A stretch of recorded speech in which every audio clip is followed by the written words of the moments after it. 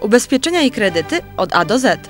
Sławomir Wojciechowski, Kraśnik, ulica Urzędowska 351, Autokomis, telefon 600 968 157.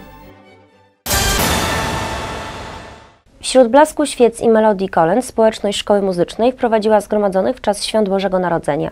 Uroczysta wigilia odbyła się w budynku szkoły 22 grudnia. Na wstępie powitano wszystkich gości, wśród których znaleźli się m.in. przedstawiciele władz miejskich. Wspólnej wigilii towarzyszyły wspomnienia dotyczące narodzin Jezusa. Doskonałym wspomnieniem tego mistycznego czasu był koncert najpopularniejszych polskich kolęd, które wykonali uczniowie szkoły.